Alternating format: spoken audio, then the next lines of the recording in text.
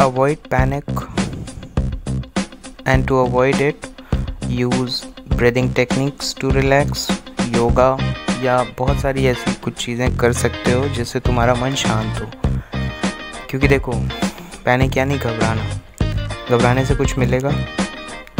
अगर घबराने से कुछ मिलता होता तो मैं वो पहला शख्स होता जो तुम्हें ये सलाह दे रहा होता अभी कि भाई, जी भर के घबरा लो। शायद इससे तुम पास हो जाओ, या इससे तुम्हारे मार्क्स आ जाएँ।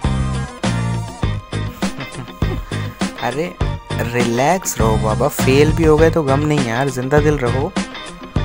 थकेले, बुझेले जैसे इंसान नहीं, एकदम मस्त। टाइम टेबल सेट करो ट्रिक्स यूज़ करो, थोड़ा मेंटर्स की हेल्प लो, फिर देखना, कोई नहीं रोक सकता तुम्हें आगे बढ़ने से। पैनिक हो गए स्ट्रेस होगा वरी होगा, बेकार ख्याल मन में आएँगे। तो उस लेवल पे ही हमें नहीं जाना है। उस लेवल को हमें आने ही नहीं देना है। और आने कैसे नहीं देना है, वो लेवल आएगा कब नहीं? जब हम प्रॉपरली अपने टाइम को सेट करेंगे, अपने डे को ऑर्गेनाइज करेंगे, अपनी स्टडीज़ को ऑर्गेनाइज करेंगे।